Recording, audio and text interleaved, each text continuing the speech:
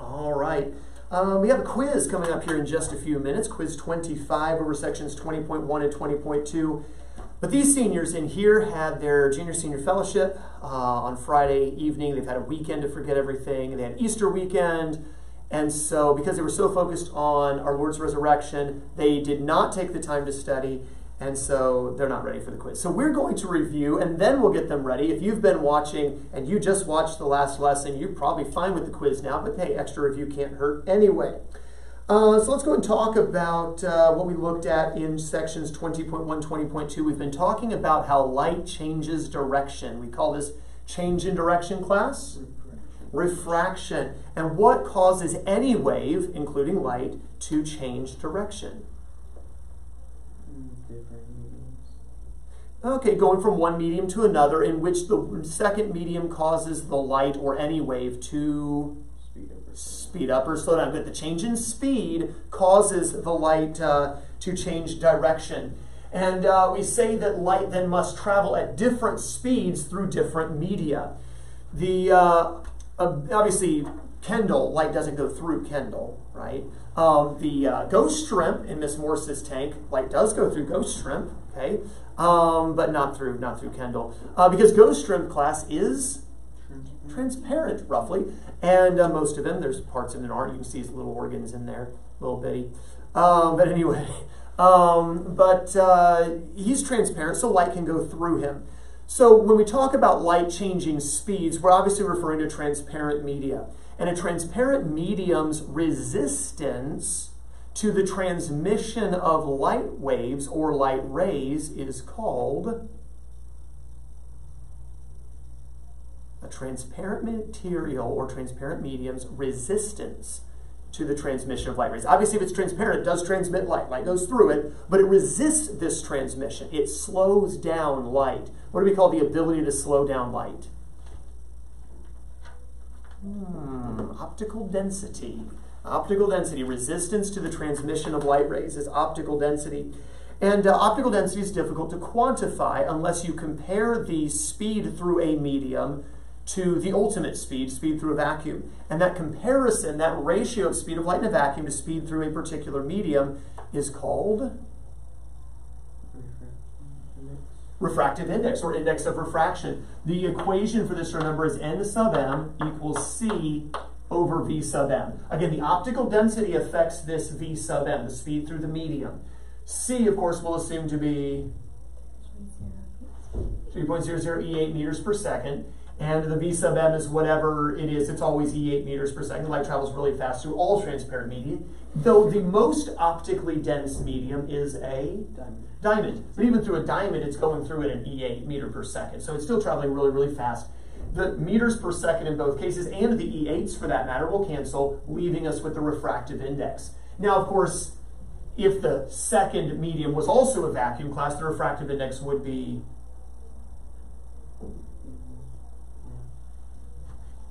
And the equivalent of C, when they cancel in division, you get One. one, right? So one would be the lowest refractive index. That would be for a vacuum, and then uh, other media go bigger and bigger and bigger until eventually diamond is the biggest. So then we have there the refractive index. No units on refractive index. Remember. Uh, we said that as light slows down, or as any wave slows down, what we're talking about, light as light slows down, it bends or refracts in which direction, class? Toward. Toward the normal, and we saw that with um, the uh, the laser beam going from air into the water the other day, um, where we could see the laser beam coming in and then kind of change direction downward, more pronounced. Uh, if light is able to speed up, it refracts Away. from the normal. We saw that as well with the uh, light starting, well, just barely through air a little bit, then into the water, and then going back out into the air. We got to see the waves refract away from the normal. Um, so, the angle of incidence does not equal the angle of refraction. Right, true or false? Angle of incidence equals angle of refraction? That would be false. Test coming up in lesson 150 for these students. It's in about a week. Um, but uh, in that test, you will see that. No, false, lies. Okay, angle of incidence does not equal angle of refraction. Rather, I can find the angle of refraction based on the angle of incidence and the refractive indices of the two media. What do we call that first law of refraction? It's named in honor of the Dutchman who discovered this relationship. Snail. Snell's law. Remember, not Snail's law, Seaborgium, the snail. No, Snell's law. And what is the Snell's law, first law of refraction equation, Audrey?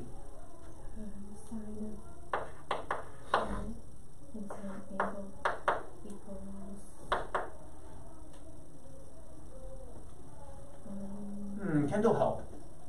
That is part of it, but she left off something important. The n sub 1? Good. The refractive index of the first medium times the sine of the incident angle equals. n sub 2 times the sine of the angle refraction. There we go. So what is it, Audrey? Uh, n sub 1 times sine of the incident angle equals n sub 2 times sine of incident ref, I refracted angle. Angle of refraction. There we go. Theta sub r. Okay, so remember we said we have to compare. Think about, okay, what's the first medium? What's the second medium? Make sure we put the refractive indices in the correct spot.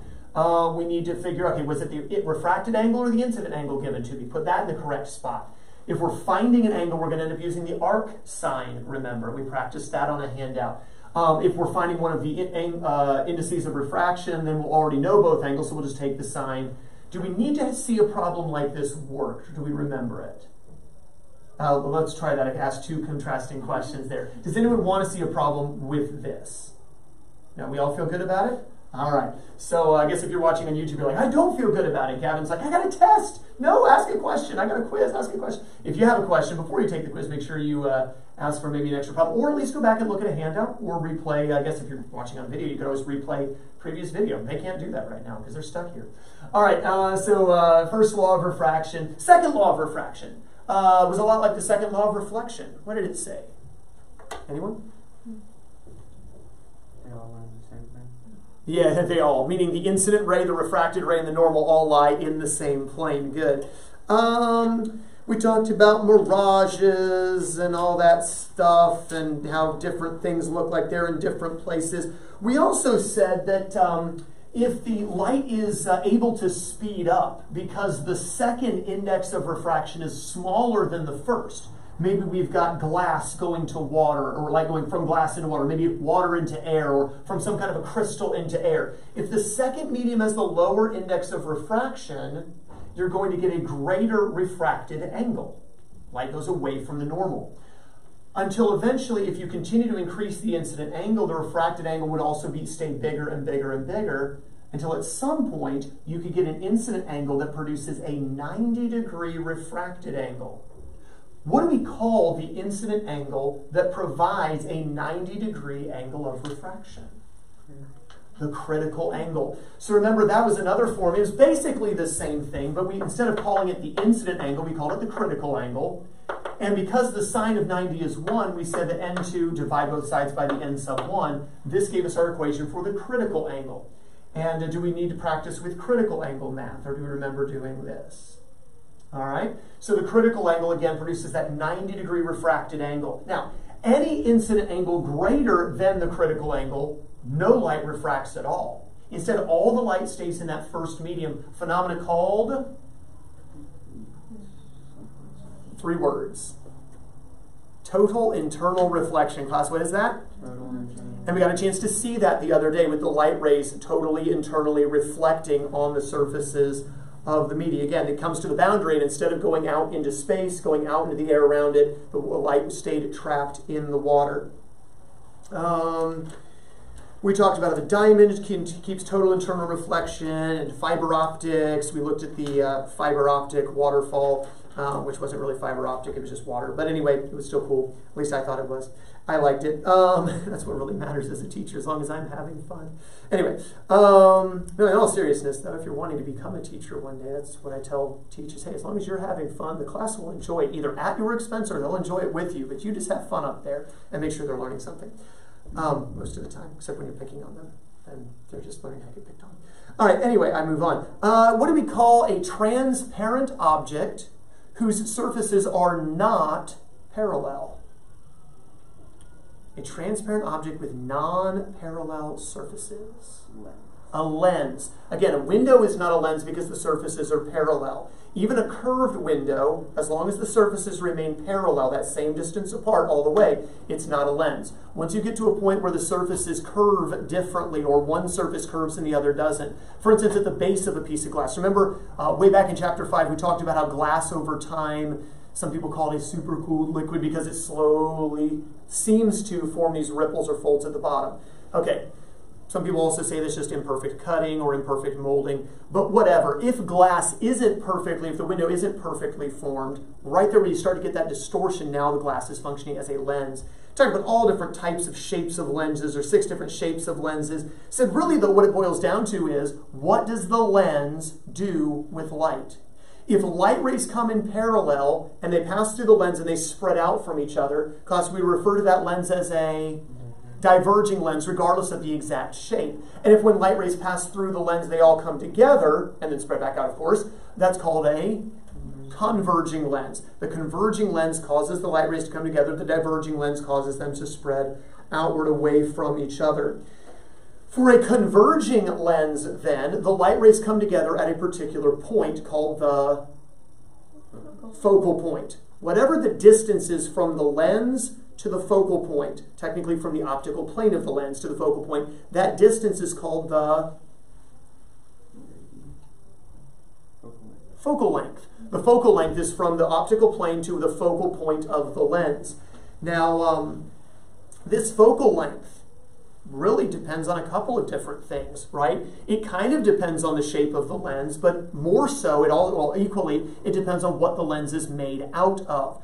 We had an equation called the lens maker equation. We worked a lot recently, um, and it helped us to see how to find the focal length of a lens. What was that lens maker equation, Michael?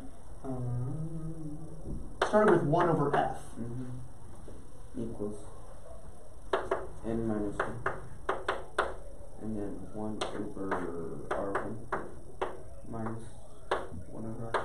There we go. Both radii of curvature for the two surfaces of the lens and the index of refraction all play into that focal length. And so we can't necessarily, like a mirror, just say, oh, focal length's half the radius. Well, no, because what's the lens made out of? What is the second radius of curvature going to be?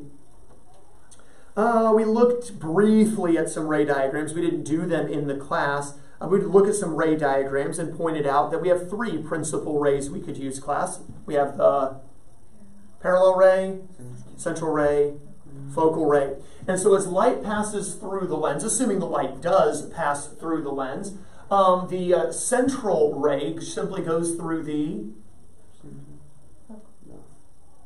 the center, but the what center? There's two words. Optical center, good. With a mirror, we had a center of curvature, the center of, len- of uh, uh, center of curvature through which the light passed, and then we have an optical center for a lens. The reason I make sure we make that distinction is because in the test coming up in lesson 150, um, we will have both lenses and mirrors together on the same test. So we want to make sure we keep those straight. But the, uh, the uh, central ray just goes through the optical center, no refraction at all because it's already going through the center of the lens. Um, the focal ray passes through the focal point, or really the secondary focal point, and once it reaches the optical plane for our purposes, it will refract parallel to that uh, main line called the principal axis. The principal axis. The final ray was the parallel ray. Of course, that would start out running parallel to the principal axis, and once it got to the lens, it would refract, refract through the focal point. Good. Um, and so we said that we could track where different images would form. Um, we said that for a converging lens, there are six different cases of image formation. And for the diverging lens, there's only one. Diverging lenses always produce what kind of images? Virtual upright, unmagnified. Virtual upright reduced images. Virtual upright reduced images. And so right now I see all of you through a diverging lens. We're going to talk about this uh, after the quiz, but I have diverging lenses on. And so all of you still look like you're over there. You don't look like you're here. That would be really weird, right? Okay? It doesn't appear that you're on this side of the lens with me. You still look like you're out on that side of the lens. You're all upright.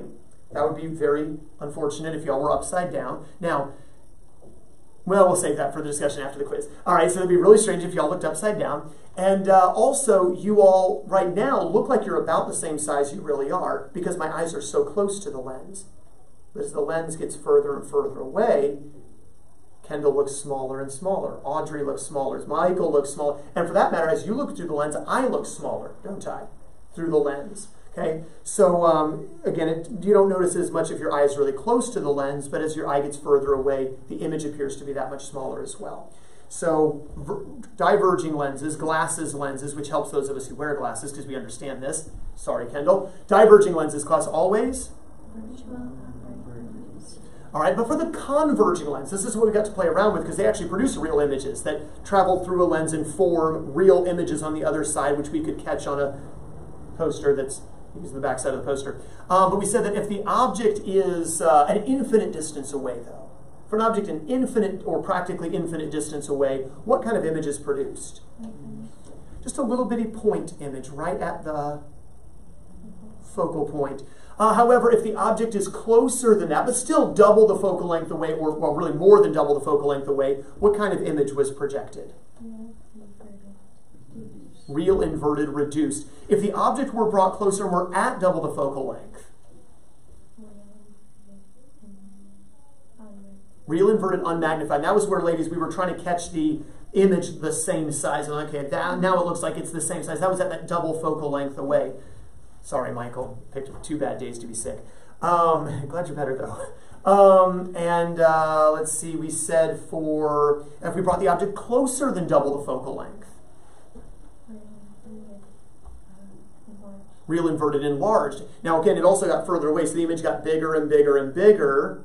And we had to keep moving that poster further and further away to get it in focus until eventually, if the object were placed at the focal point, no image is produced. And uh, of course, if we got closer than that, you still wouldn't get an image produced, not a real image at least, not on a poster. But if you then looked through the lens the other direction, we could now see the image behind the lens, meaning it was a virtual image. It was now upright and enlarged, right? Like a magnifying glass would be. All right, questions on cases of image formation. Um, lens maker equation was the last thing. We already gave it to you here. Remember, we said for the lenses, the two radii of curvature affect things, but we have to consider rel- relative to the object where, where the radii would be. For instance, if we had a double uh, convex lens, okay, so here's your focal plane. This first surface or this surface here, class, the first surface I drew, is actually considered surface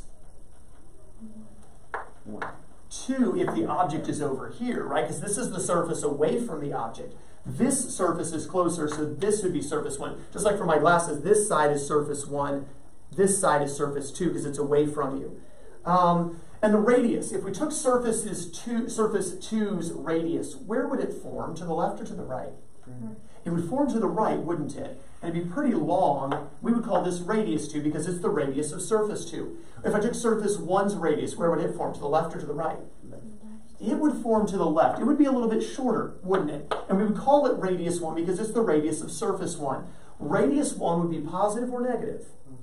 It would be positive because it's away from the object, where radius 2 class would be negative because it's toward the object. So we need to account for all of that. I recommend drawing sketches when using the lens maker equation. Make sure we get the radii in the correct spots, R1 versus R2. Make sure we get them positive or negative correctly. Make sure we subtract, not add. And of course the n minus 1, we just take the 1 off the refractive index.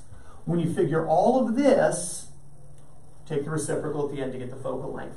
Do we need to practice with a problem like this, or was the practice in previous lessons sufficient? Where are we at? We good or we want more practice? Good? Good? Good? All right, any questions? Oh, quick sign convention. Focal length could be positive or negative, just as radius could be positive or negative. Focal length could be positive or negative. What does a positive focal length tell me about the lens? It's converging. The light really goes through the lens, it does what we expect, and it actually focuses. A negative focal length, diverging, it, it indicates that the light seems to focus on the same side of the lens, which would not be natural and that would make it a diverging lens. All right, questions on this? All right, we'll go ahead and take a quiz. Clear desk except for a clean sheet of paper, pencil, and calculator. Clean sheet of paper, pencil, and calculator. First last name at the top of your paper, along with today's date.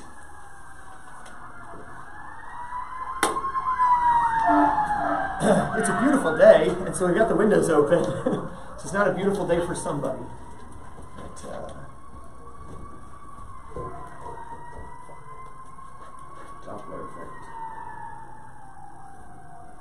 somewhat. I mean, I, I guess you heard a little. It's hard to catch the pitch drop though when the siren's fluctuating, and when we're not moving too, and you just hear that one thing passing. But you definitely hear it getting quieter. That's for sure.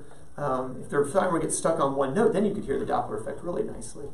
Um, it's always a good sign, a good sign when the siren goes past you, right? When it gets louder and louder and louder and never softens. Is it my building? the other end of the school is in flames. My kids. All right, anyway, I got morbid really quick. Let's go ahead and put first and last name at the top of your quiz, along with today's date, which is 410 23. 410 23, and this is quiz 25. Quiz 25.